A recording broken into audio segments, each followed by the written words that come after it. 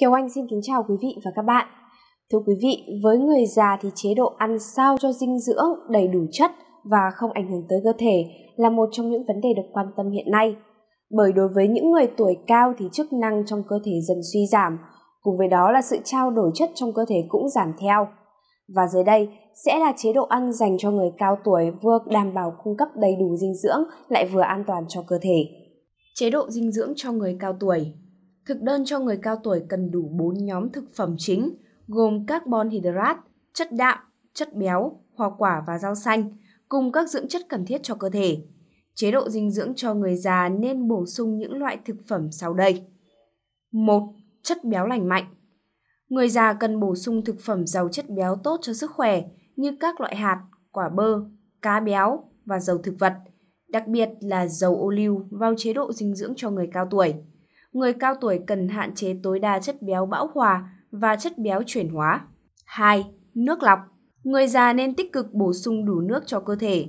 Ngoài ra các loại trái cây, thực phẩm tốt cho sức khỏe và chứa nhiều nước như các món súp, dưa chuột, nho và dưa hấu vô cùng tốt cho sức khỏe của người cao tuổi. Thứ ba, ngũ cốc nguyên hạt. Ngũ cốc nguyên hạt rất giàu chất xơ, chất dinh dưỡng, giúp hỗ trợ tiêu hóa và tốt cho tim. Bạn nên lựa chọn gạo lứt ngũ cốc nguyên hạt, bánh mì nguyên hạt để bổ sung vào chế độ dinh dưỡng cho người già. 4. Thực phẩm giàu chất xơ. Người già cần bổ sung thực phẩm giàu chất xơ như trái cây, rau xanh và ngũ cốc nguyên hạt mỗi ngày. Điều này giúp ngăn ngừa táo bón, cung cấp vitamin, chất khoáng, chất xơ, các chất dinh dưỡng cần thiết cho cơ thể, duy trì cân nặng và giảm nguy cơ mắc bệnh tim. 5. Protein. Người già cần tăng cường bổ sung protein từ các loại đậu, trứng, thịt gà, cá và thịt nạc, cũng như các loại hạt để cung cấp năng lượng cho cơ thể. 6. Canxi, vitamin D.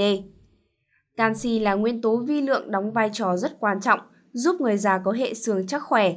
Vì vậy, chế độ dinh dưỡng cho người già cần bổ sung các thực phẩm giàu canxi và vitamin e. D. 7.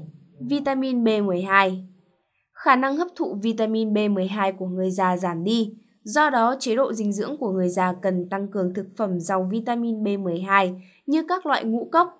Ngoài ra có thể bổ sung thêm vitamin B12 theo chỉ định của bác sĩ khi cần.